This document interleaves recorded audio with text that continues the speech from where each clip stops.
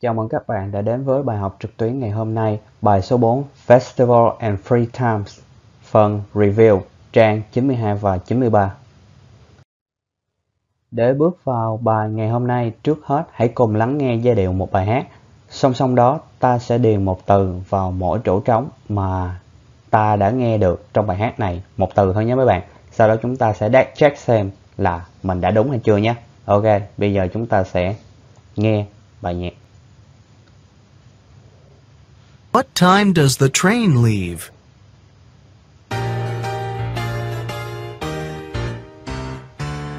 What time does the train leave? It leaves at 10 p.m. 10 in the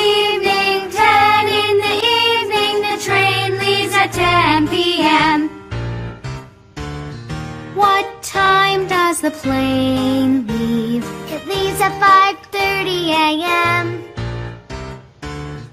5:30 in the morning. It leaves at 5:30 a.m. What time does the bus leave? It leaves at 8:30 a.m. 8:30 in the morning.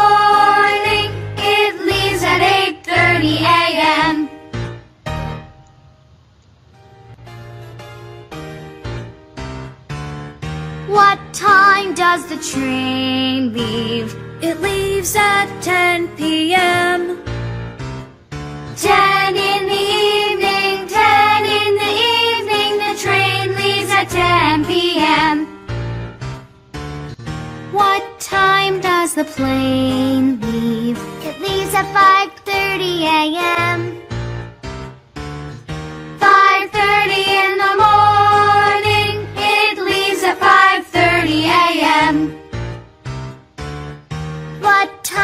does the bus leave? It leaves at 8.30 a.m. 8.30 in the morning. It leaves at 8.30 a.m. Rồi mình đã xem đáp án của chúng ta đã trùng khớp với lại trên slide cho nhé mấy bạn. Rồi bây giờ chúng ta sẽ cùng bước vào bài học ngày hôm nay nhé mấy bạn. Ok, bài số 4 Review In this lesson you will review three free time activities, making plans and giving your opinion, traditional festivals around the world. Thì trong bài học ngày hôm nay chúng ta sẽ ôn về những gì? Đầu tiên, free time activities, các hoạt động vào thời gian rảnh rỗi. Making plans and giving your opinion, lập kế hoạch như là đi đâu đó chơi với bạn chẳng hạn và đưa ra cái chính kiến của mình, cái ý kiến của chúng ta.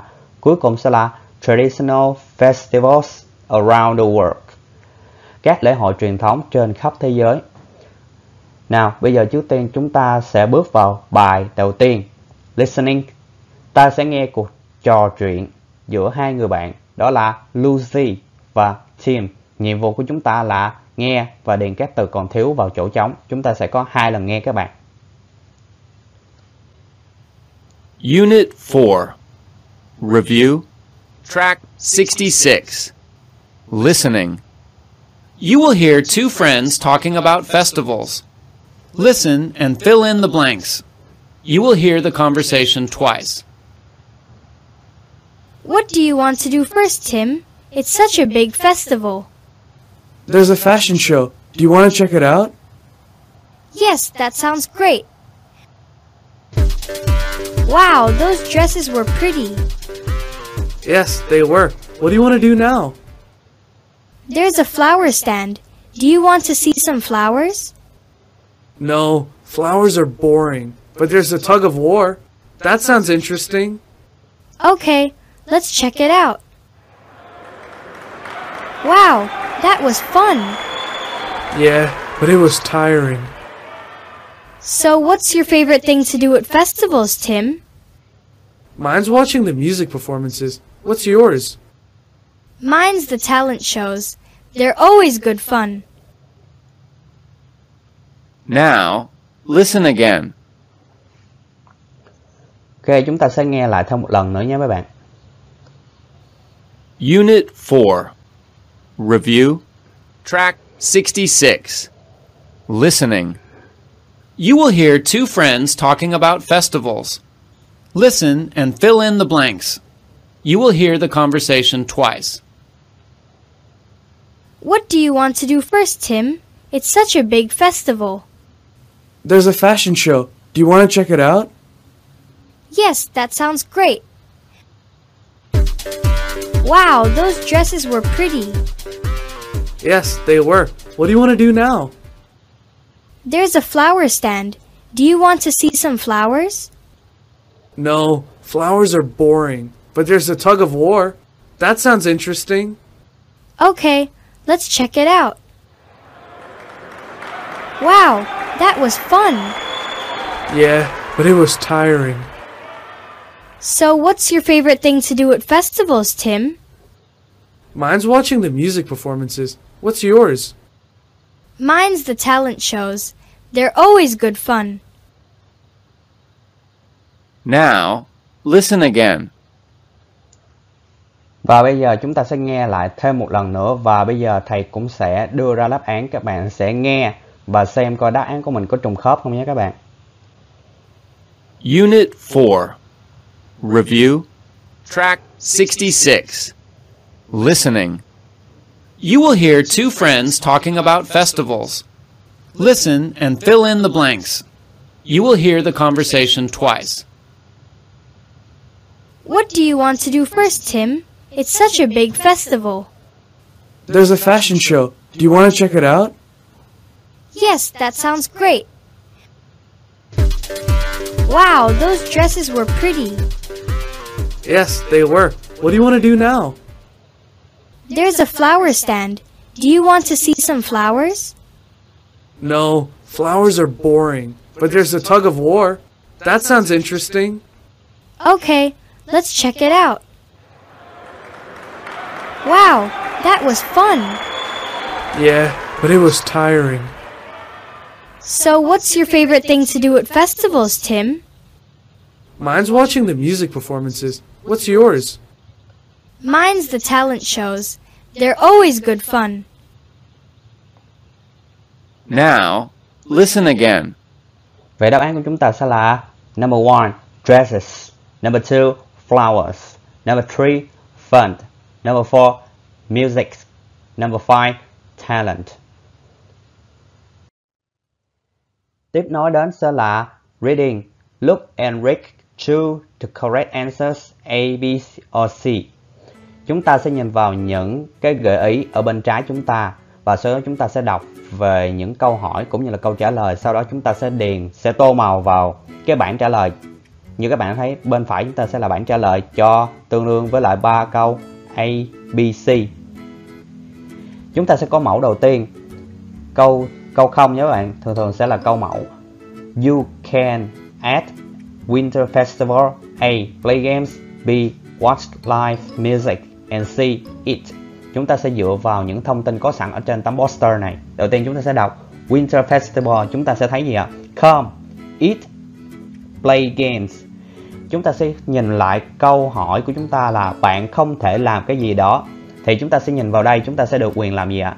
Eat Thì chúng ta thấy eat ở câu C Cho nên chúng ta sẽ không chọn Tiếp theo là play games, chúng ta cũng có được quyền chơi game, play game. Cho nên câu A và câu C chúng ta sẽ không chọn.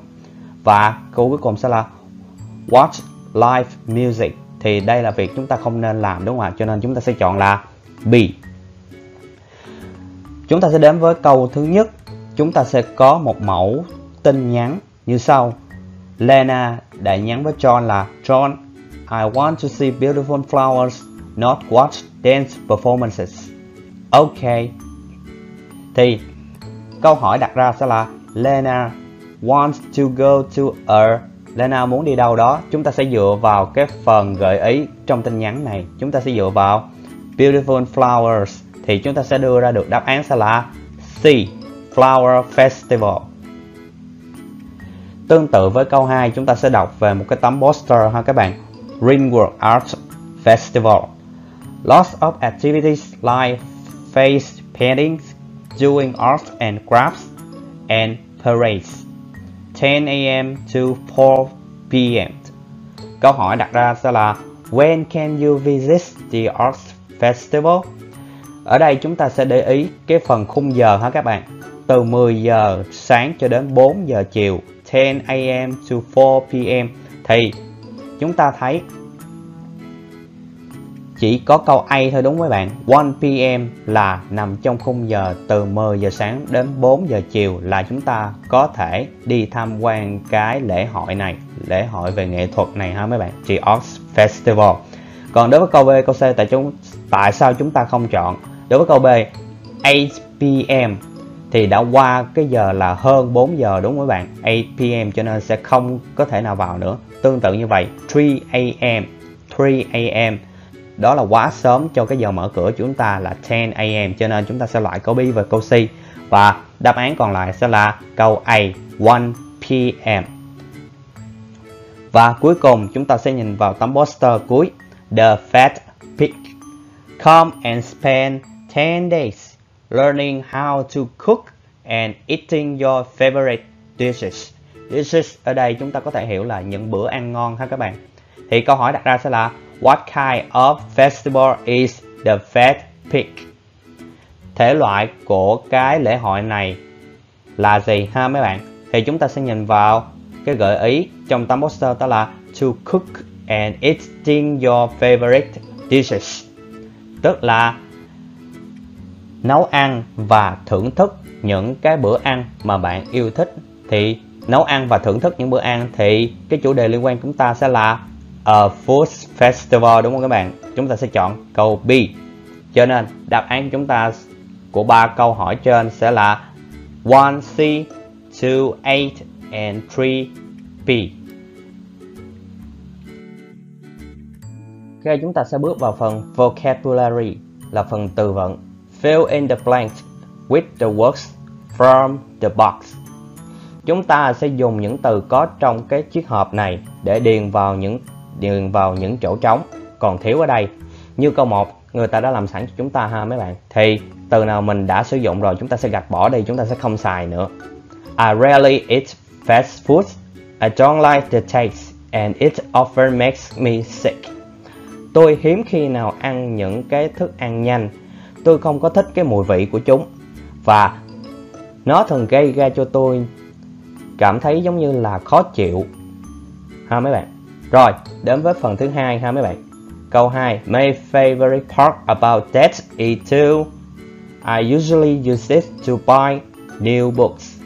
Đối với câu 2 thì các bạn để ý ha các bạn. Sau to thì chúng ta sẽ dùng động từ nguyên mẫu ha, tức là không thêm cái gì hết. Ở đây chúng ta sẽ thấy là có get, lucky, money và eat traditional food.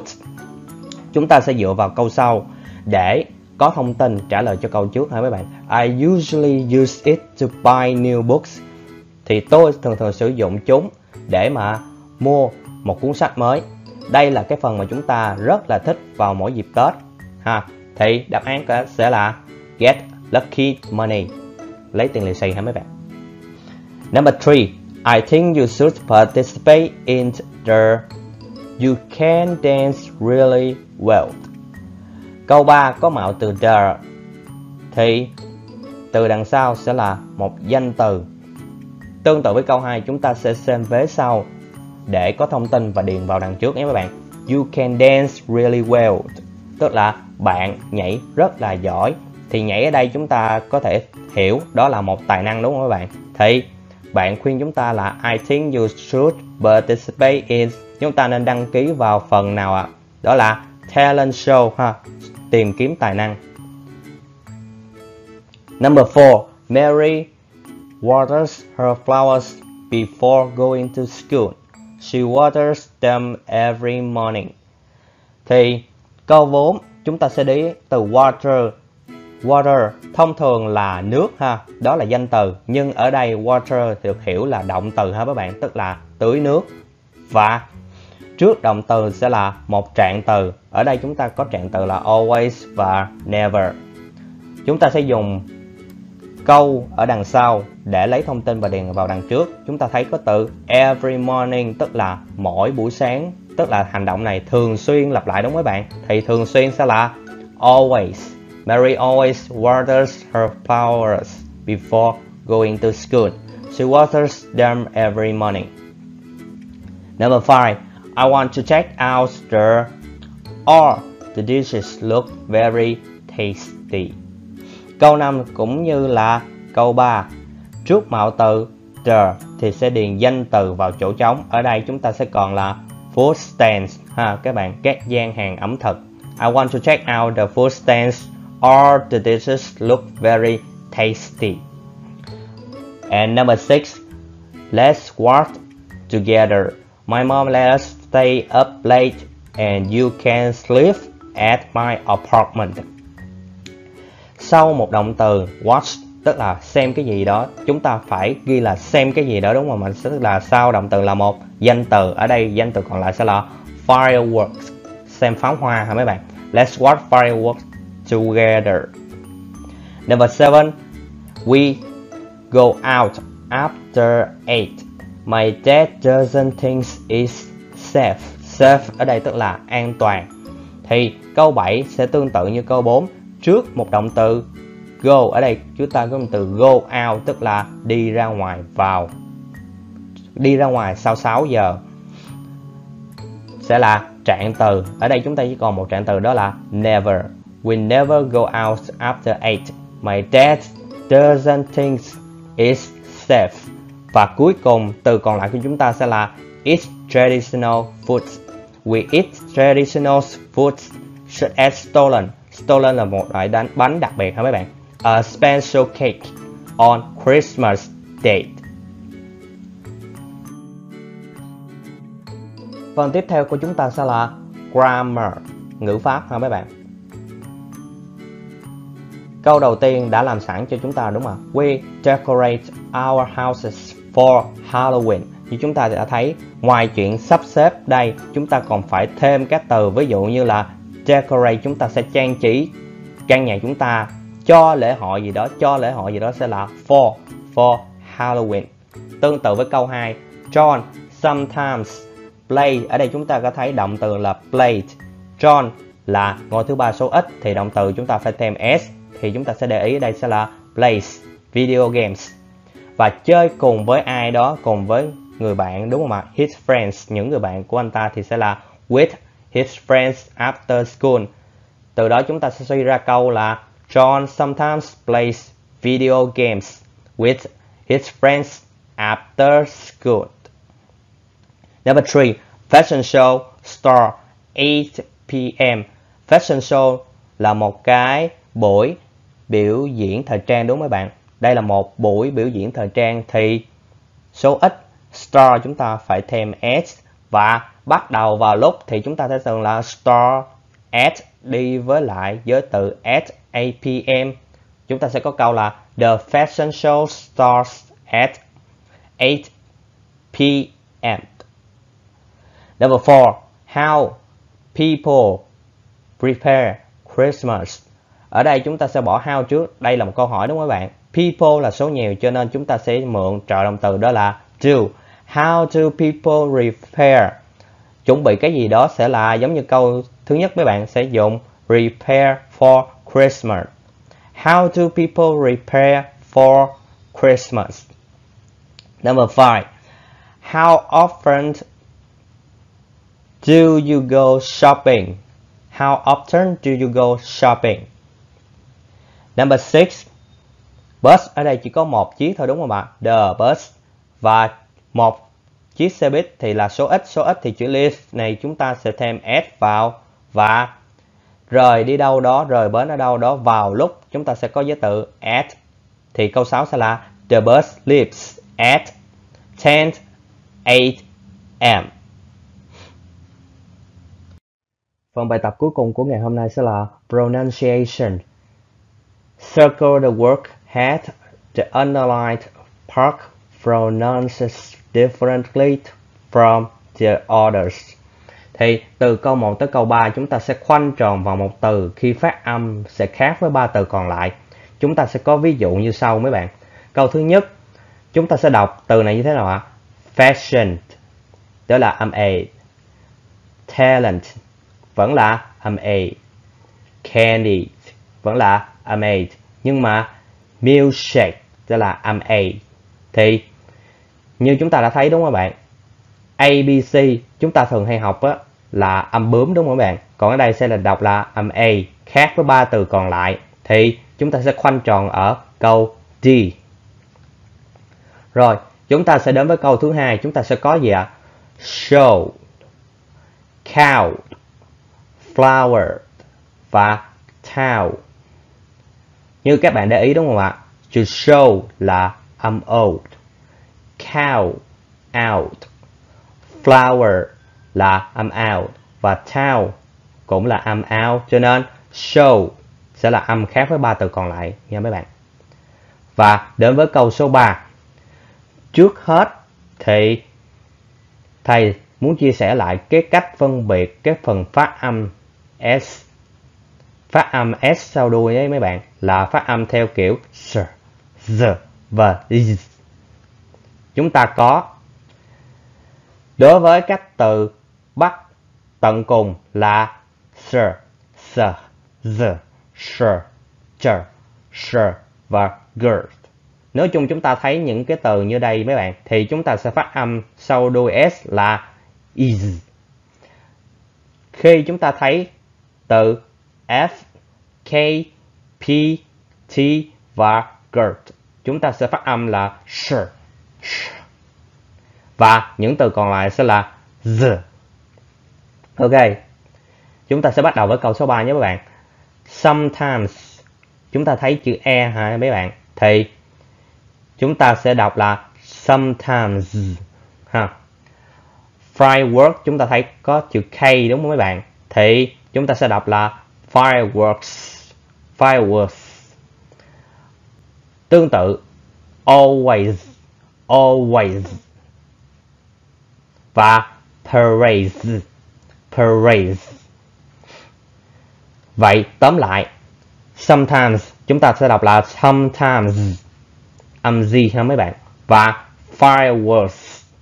Fireworks. Always. Always.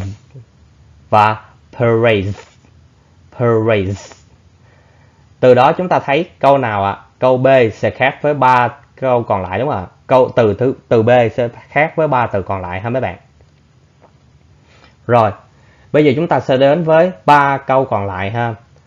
Circle the work that differs from the other three in the position of primary stress in each of the following questions.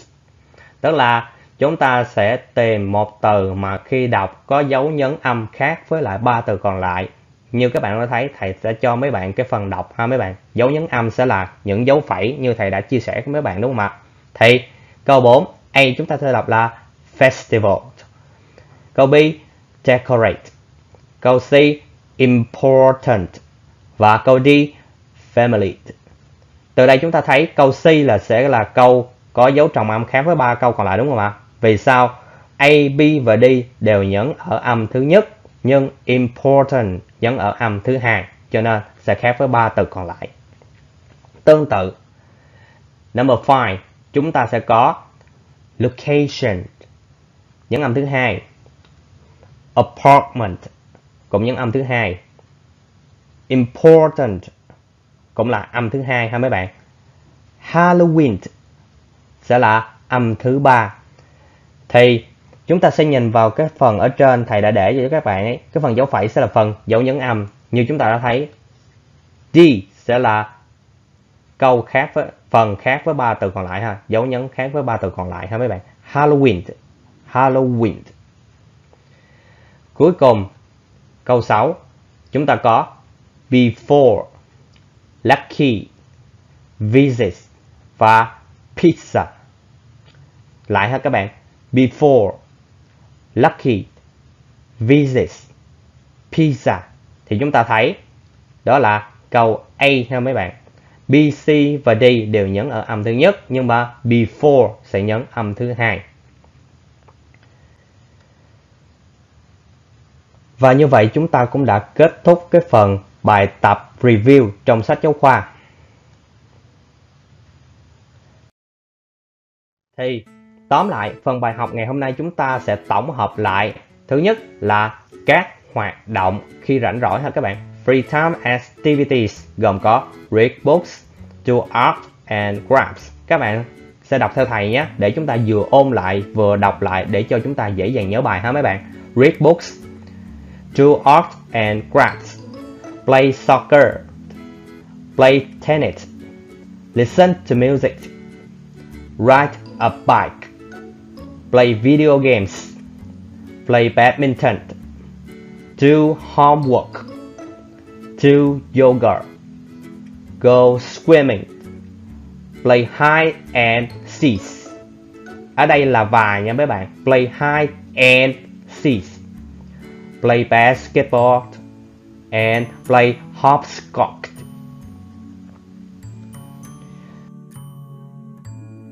Tiếp đến là các trạng từ về tần suất ha mấy bạn. Adverb of adverbs of frequency. Chúng ta gồm có always, usually, often, sometimes, rarely, and never. Và câu hỏi về mức độ hoặc tần suất mình làm một hoạt động nào đó là bao lâu? Chúng ta có How often? How often do you surf the internet? I often surf the internet. Hoặc là I surf the internet one a week. Hoặc là twice a week or every day. How often does she make dinners? She often makes dinners or she usually makes dinner. Kế đến là tên các lễ hội mà chúng ta biết đến hoặc là phổ biến ở hầu hết các nước. Ví dụ như chúng ta có gì ạ? Hình A sẽ là Thanksgiving là lễ tạ ơn nè. Lunar New Year là Tết ha mấy bạn. Năm mới. Và Christmas tương với hình C, đó là Giáng sinh. Easter, lễ phục sinh, hình D và hình Y sẽ là Halloween. Và một vài câu hỏi liên quan đến lễ hội và các hoạt động trong lễ hội ấy là gì? Chúng ta sẽ sử dụng câu là How often do people prepare for? Ví dụ như đây chúng ta có, How often do people prepare for Christmas? Tức là, thường thường trong buổi lễ đó thì họ hay làm những việc gì vào dịp Giáng sinh? Thì chúng ta có là They decorate their homes and buy gifts. Họ sẽ trang trí nhà cửa của họ và mua những món quà. Và What do they do during Christmas? Là họ thường làm gì trong cái lễ Giáng sinh đó, trong suốt cái buổi Giáng sinh đó thì they visit family and friends. Họ có thể đi thăm gia đình hoặc là và bạn bè của họ. Và cuối cùng chúng ta sẽ học về các sự kiện ví dụ như là music performance là buổi trình diễn âm nhạc nè, fashion show là trình diễn thời trang, puppet show là trình diễn múa rối nước, múa rối. Talent show là các chương trình tìm kiếm tài năng, Talk of World là thi kéo co và food stand là các khu ẩm thực lưu động ha mấy bạn. Rồi, bên cạnh đó sẽ là các tính từ dùng để diễn tả ý kiến của bạn về các sự kiện ấy. Thì trước tiên chúng ta sẽ nhìn vào các trạng từ chỉ về những cái ý kiến đó ha mấy bạn. Ở bên trái chúng ta có từ positive tức là về cái mặt mà cảm xúc uh, tích cực ha mấy bạn, gồm có great, interesting, exciting, attractive và fun. Negative là những cảm xúc về mặt tiêu cực, gồm có boring, bad hoặc là tệ hơn nữa là horrible. Và give your opinions about the events using the adjectives about. Tức là chúng ta sẽ cho cái ý kiến của mình về những sự kiện đó thông qua các cái trạng từ ở trên đây tích cực hoặc là tiêu cực. Ví dụ chúng ta có mẫu như sau. What do you think about music performances? Tức là bạn nghĩ sao về cái buổi trình diễn âm nhạc ngày hôm nay? Thì chúng ta có thể trả lời là I think music performances are interesting. Tôi nghĩ á, những cái buổi trình diễn âm nhạc này thì rất là thú vị. Còn nếu không các bạn có thể kháng từ khác vào như là fun hoặc là great. Còn nếu các bạn không thích các bạn có thể là chán là boring. Ok, thì phần bài tập về nhạc của chúng ta thứ nhất tức là review all the lessons from Unit 4. Chúng ta sẽ ôn tập lại tất cả các bài học của bài số 4 ha mấy bạn. Thì như các bạn đã thấy lúc nãy á, Đây chỉ là một phần tổng hợp của bài review ngày hôm nay mà thôi. Trước khi nhìn lại cả toàn bộ bài thứ tư từ đầu lesson, từ đầu bài 1 đến tận cái bài ngày hôm nay nha các bạn. Thì có rất là nhiều từ vựng nè, cũng như là cấu trúc câu đúng không ạ? Thì á, trên đây á, thầy yêu cầu các bạn ở nhà sau khi học xong cái bài ôn tập này thì cũng đừng quên á, rà soát lại các từ ở bài trước, luyện tập lại các cấu trúc câu của toàn bài ha mấy bạn. Và do exercise as instructed. Thì cũng như bao ngày sau khi cái video này kết thúc chúng ta sẽ có một cái bài tập điểm danh hy vọng các bạn sẽ làm bài đầy đủ ha. Và repair unit 5 new words and listening chúng ta sẽ chuẩn bị bài kế tiếp ha các bạn? Bài 5 là phần từ mới, new words và phần nghe, listening ha mấy bạn? Cảm ơn các bạn đã lắng nghe và theo dõi. Chúc mấy bạn có một ngày vui vẻ và tốt lành.